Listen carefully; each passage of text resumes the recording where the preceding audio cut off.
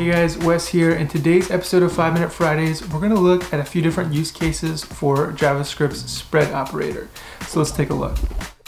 Okay, so I've got Vim open here. So on the left side, we'll have our JavaScript, and on the right side, we'll have the output when we run that JavaScript using Node. So what the spread syntax essentially allows us to do is to expand some iterable, whether that be inside of a function call or in an iterable literal like an array literal for instance.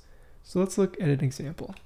Here we're going to look at how we'll use the spread syntax if we have this function log greeting which takes three arguments and we simply just log those arguments out to the console. So what we can do using spread is we can have an array in which we'd like to define the arguments at each index which map to the index of the set of args for this function.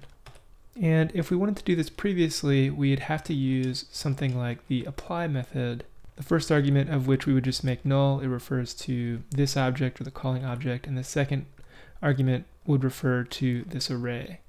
This is similar to the call function except that call accepts those params directly here, whereas with apply, in the second argument of apply here, we could simply supply this array. So if we log that, we can see that using apply works, but we can actually avoid that now using the spread operator. And so the spread operator is essentially these three periods here before args. And we're passing this to the same method log greeting, but we're not actually explicitly using the apply function at all. So I'm going to go ahead and run this. And so you can see that we get the same result. So this is a pretty useful example in an instance where we can use spread in a, in a function call.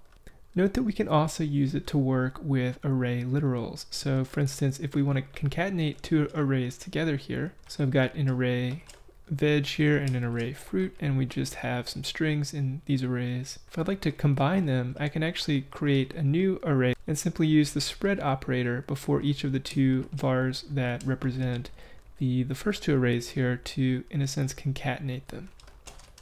And so you can see now we have that array here.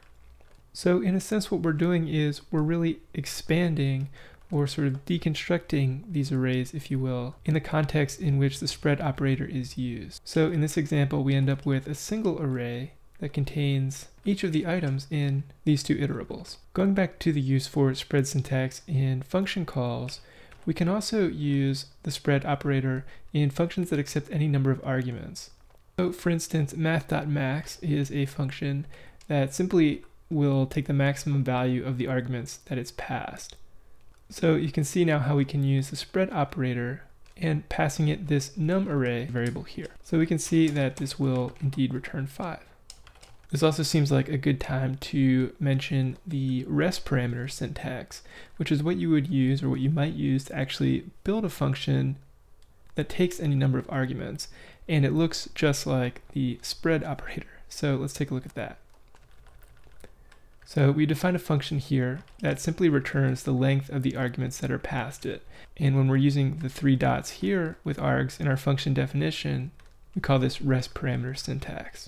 So if I were to call args length with two arguments here, you can see that our function returns two. And in fact, we can pass now any number of arguments to args length and run it just as well. So using the three dots here in your function definition is an example of using rest parameter syntax. Okay, so that's just a few examples of using the spread operator in practice here and a quick look also at rest parameter syntax which also contains three dots, but will be used in cases where we are actually defining a function. All right, that's about it for today's 5 Minute Fridays. Be sure to leave comments or questions below. I'd love to hear suggestions for ideas for 5 Minute Fridays episodes or new full app series. I'm interested in hearing whatever you guys are interested in covering. I'd appreciate it if you liked or subscribed if you got something out of this video, and I'll catch you next time.